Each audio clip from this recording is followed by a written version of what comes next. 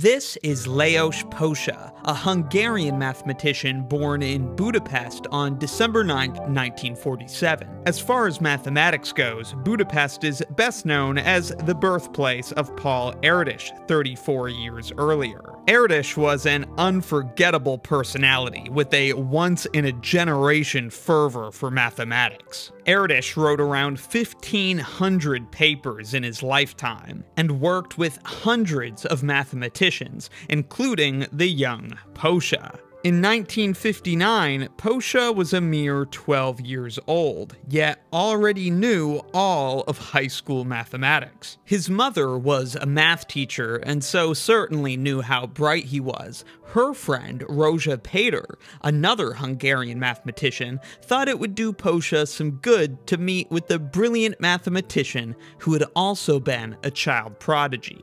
And sure enough, Paul Erdős had just returned to Hungary from a number theory conference in the United States. So the two met for lunch, and while the 12-year-old Pósa ate his soup, Erdős gave him the following problem. Prove that among the first two n positive integers, any collection of n plus one of them must contain a relatively prime pair. Let's make sure the problem statement is clear and see how long it takes you to solve it. Positive integers, of course, are the numbers 1, 2, 3, 4, 5, 6, etc., and relatively prime numbers are numbers with no common factor greater than 1. For example, 6 and 9 aren't relatively prime. This, of course, because they do have a common factor greater than 1, namely 3.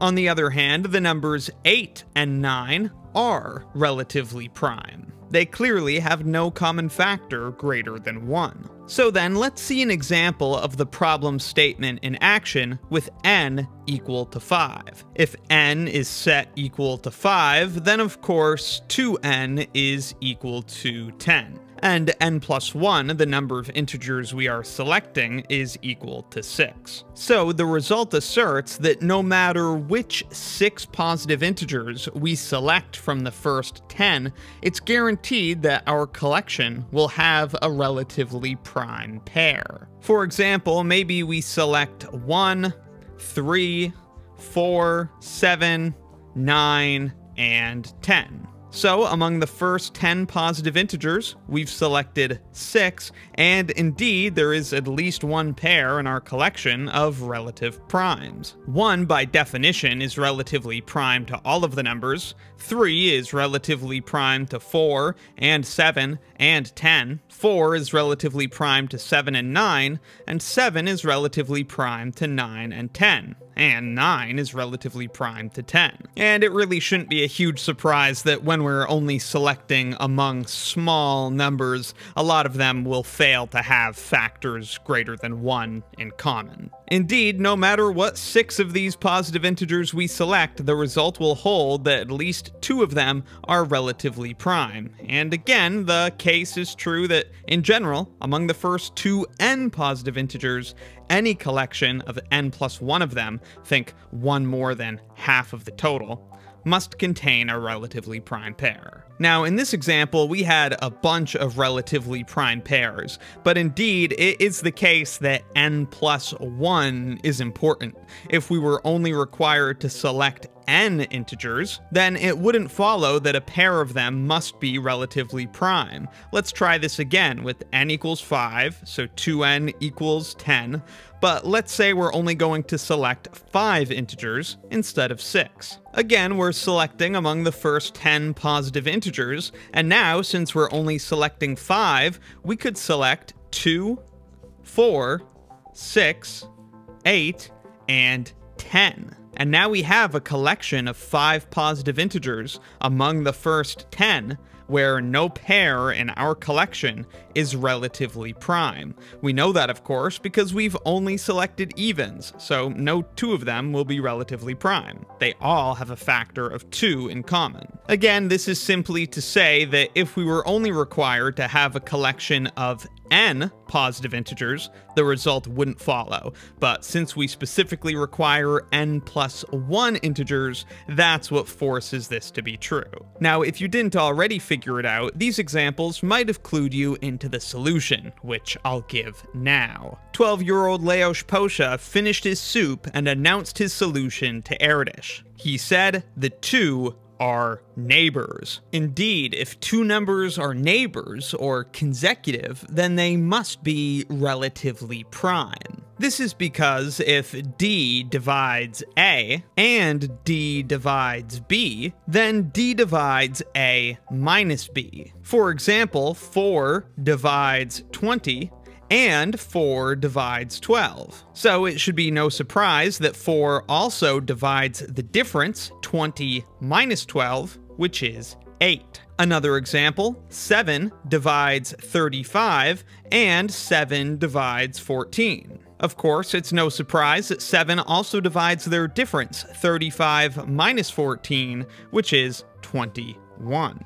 When two numbers a and b are consecutive, then this difference, a minus b, is equal to 1. And the only thing that divides 1 is 1. Hence, the only possible common factor for consecutive numbers is 1. So they're always going to be relatively prime. The key in our problem is that if we select n plus 1 numbers among the first two n positive integers, then we must select at least one pair of consecutive numbers. If we try to avoid selecting neighbors or consecutive numbers by selecting every other number, then of course we can only get half of the total, which is n numbers, and we need to pick n plus one of them. Thus, it's not possible for us to select every other number, since we have to pick n plus one of them, not just n of them, so we're forced to pick at least one pair of neighbors, which will be relatively prime as desired. It's a simple problem and solution, but it had taken Erdős himself 10 minutes to come up with this quick and easy solution. And the child Pósa did it in the few minutes that he spent eating his soup. Erdős thought that this demonstrated that Posa was on the same level as the legendary Carl Friedrich Gauss who, stories say, added the first 100 positive integers in an instant as a schoolboy.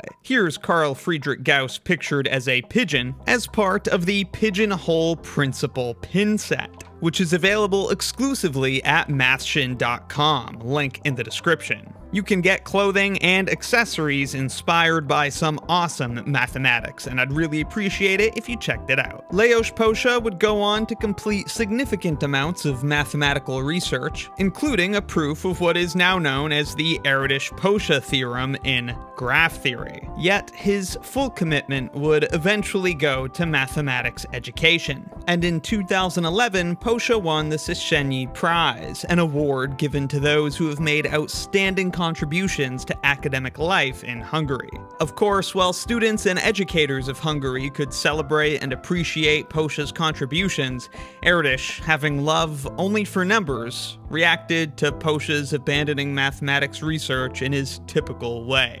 Pósa is dead. I'm unstable, I'm feeling art to keep the cable cut and untuck the table. If Texas Instruments don't reply, I think this time it might be fatal. Wish to sell my own fakes, I'm jaded. Hate the odds that I calculated. Press and pull and pray and push it all the way through the whole blue planet faded. Psychosomatic habits, why you so, so